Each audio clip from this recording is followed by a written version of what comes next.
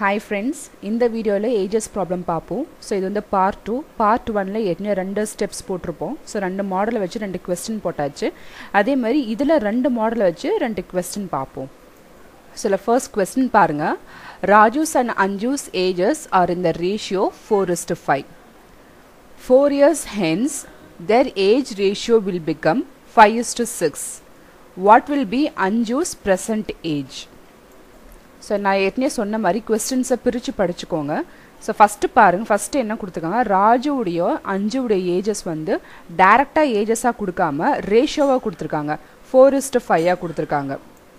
So இதில் ஒரு வாரத்துக்கு கொடுத்துருக்காங்க ஹென்ஸ்னு கொடுத்துருக்காங்க. ஸோ ஹென்ஸ்னாலே எக்ஸ் ப்ளஸ்ன்னு அர்த்தம். ஸோ எத்தனை ஹென்ஸ் பாருங்கள் ஃபோர் இயர்ஸ் ஹென்ஸ் அப்படின்னா எக்ஸ் ப்ளஸ் ஃபோர்னு எடுத்துக்கோங்க. ஸோ ஃபஸ்ட்டு ஆறுன்றது ராஜு ஏன்றது அஞ்சு.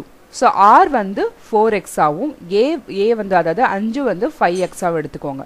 ஸோ அவங்க வந்து நாலு வருஷம் கழித்து அவங்களோட ரேஷியோ வந்து ஃபைவ் இஸ்டு சிக்ஸாக இருக்குது ஸோ அப்போ நம்ம எப்படி எழுதலாம்னா ஃபோர் எக்ஸ் ப்ளஸ் ஃபோர் அதாவது ராஜு வந்து ஃபோர் எக்ஸ் ப்ளஸ் ஃபோர்ன்றது நாலு வருஷம் கழிச்சு.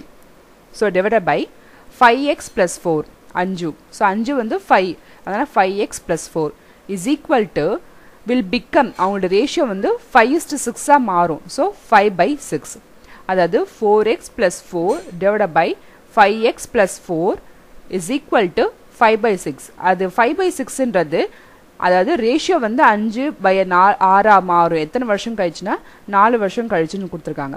ஸோ அப்போ அதுமாரி எழுதிக்கோங்க. ஜஸ்ட் இதுமாரி எழுதினாலே போதும். ஆட்டோமேட்டிக்காக நமக்கு ஆன்சர் கிடச்சிரும். ஸோ எக்ஸை ஃபைண்ட் அவுட் பண்ணுங்கள் ஸோ எக்ஸ் பார்த்துங்க. க்ராஸ் மல்டிப்ளை பண்ணுங்கள் so six four sir twenty four அதனால் twenty four X plus twenty four is equal to so இந்த சைடு மல்டிபிள் பண்ணுங்கள் twenty five X plus twenty so அப்போ X is equal to four நமக்கு value கிடைக்குது. So அந்த X is equal to ஃபோரை வந்து just அதில் சப்ஸ்டியூட் பண்ணிக்கோங்க. சப்போஸ் இப்போ வந்து இப்போ என்ன கேட்குறாங்க அஞ்சுடைய ஏஜ் கேட்குறாங்க ஸோ அப்போ அஞ்சுனாலே ஃபைவ் எக்ஸ் அப்போ எக்ஸில் ஃபோரை சப்ஸ்டியூட் பண்ணுங்கள் ஸோ அப்போ five into four is equal to twenty years in case ராஜுடைய age கேட்டாங்கன்னா four exam so four into four sixteen years so just அவங்களுடைய ரேஷியோஸை நம்ம ஈக்குவல் பண்ணிக்கோங்க. அவங்க ஹென்ஸ்ன்னு கேட்டாலே ப்ளஸ் கொடுத்துருக்க வருஷத்தை போட்டுக்கோங்க. ஸோ இதுதான் அந்த ப்ராப்ளம் ஸோ இதுமாரி ஸ்டெப்ஸ் போட்டாலே நமக்கு ஈஸியாக சால்வ் பண்ணிடலாம். ஸோ இதுமாரி பார்த்துக்கோங்க இந்த கொஸ்டினை ஸோ நெக்ஸ்ட் கொஸ்டின் பாருங்கள் Sheela is forty years old and Krishna is 60 years old. How many years ago was the ratio of their ages was three is to five so இங்கே தெளிவாக அவங்களுடைய ஏஜஸை கொடுத்துருக்காங்க. இங்கே ஒரு வார்த்தை கொடுத்துருக்காங்க. என்னென்னா எகோ எகோனால நம்ம என்ன பண்ணணும்? மைனஸ் எடுத்துக்கணும். ஆனால் எத்தனை வருஷம் கொடுத்துக்கல. ஹவு மெனி இயர்ஸ் எகோன்னு கேட்டிருக்காங்க. அப்போ நம்ம அதை தான் நம்ம எக்ஸ்ட்ரா எடுத்துக்க போகிறோம் ஸோ பாருங்கள் ஷீலா வந்து ஃபார்ட்டி இயர்ஸ் ஓல்டு கிருஷ்ணா வந்து சிக்ஸ்டி இயர்ஸ் ஓல்டு ஸோ அப்போ எஸ் பை கேன்னு எடுத்துக்கோங்க.